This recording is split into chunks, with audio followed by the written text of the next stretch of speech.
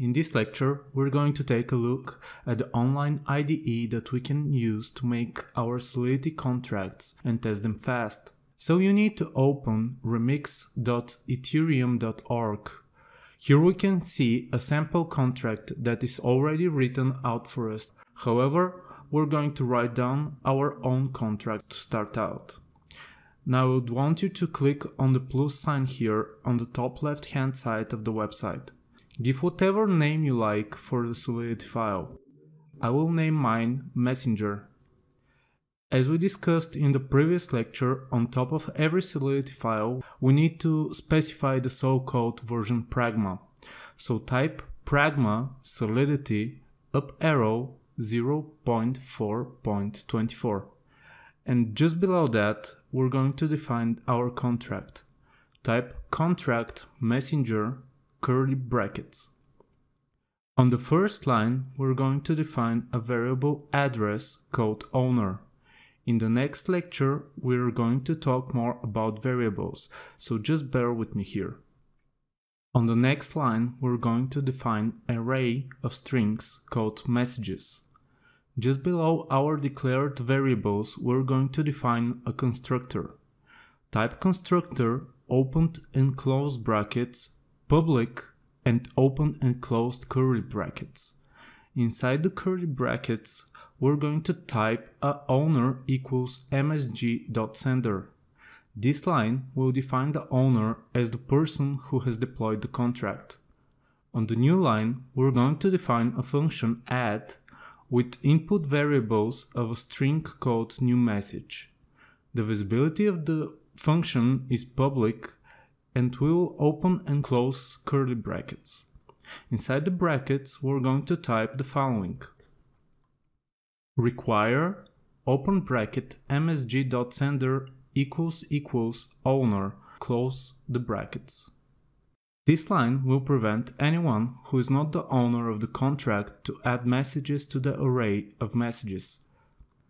Just below this, we're going to type a messages.push open bracket, new message, closed bracket. This line will add a new message to the array of messages. Below that, we're going to define a function called count, which is a view public function and returns an unsigned integer. Inside the curly brackets, we're going to return messages.length, which will return the number of messages inside the array. Below this, we're going to define one last function called getMessages. This is going to take a variable uint called index. The function will be a view public function and it will return a string. Inside of the function, we're going to return the message with the index we give to the function. Okay, so now we're ready to compile our contract and deploy it to the virtual network. We need to click here on the Compile tab and then on Start to compile. If we have any errors or warnings, we will see here some notifications in yellow and red. They're very explicit and it will help you find your errors and correct them. We get a messenger in green, which means that we don't have any errors in our code Okay, now we can go on the Run tab over here. Here on the top, we have a drop-down menu called Environment. We have three choices, JavaScript VM, Injected Web3, Web3 and Web3 provider. We're going to choose the JavaScript virtual machine. Below this we have 5 virtual Ethereum wallets. After that the gas limit for the transactions and below that the Ethereum in ways which we want to send to the function. Below this, we have a drop-down of the contracts that we have in the Solidity file. For now we have only one contract called messenger, so we select this and we click deploy. Now here we can see that we have deployed our contract successfully and we have access to the following functions. Add, count and get message.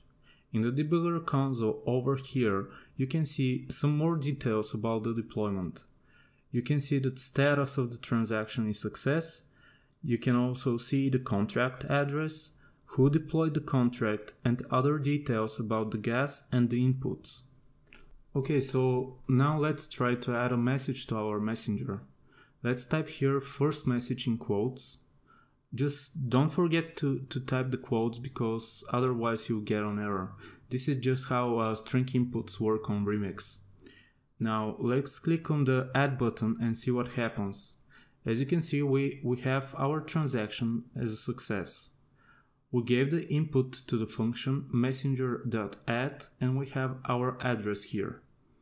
Now we can also check the count uh, that we have already. Let's click on the count button here. We have one message in our messenger. Now let's try to return this message from the other function.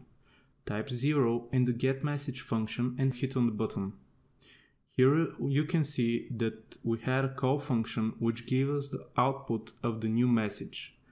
However, if we try to return an index that does not exist, we're going to get an error. Let's try to type 1 and press the get message button again. Here you can see that we have an error of invalid OP code.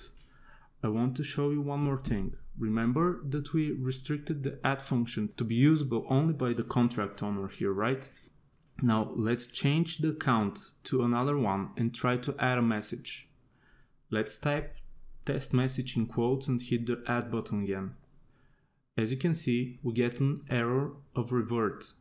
This transaction stopped here and did not let us push any messages to the messenger because we are not owners and uh, this prevents uh, certain functions to be executed from someone else that's not the owner of the contract. Okay, so now you have created your first contract with Solidity and you got familiar with the Remix IDE a little bit. Now let's continue with our lectures and get more in depth with Solidity.